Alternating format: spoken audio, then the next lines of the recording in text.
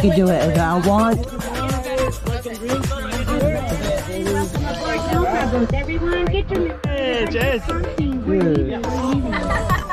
Yeah, here, some of my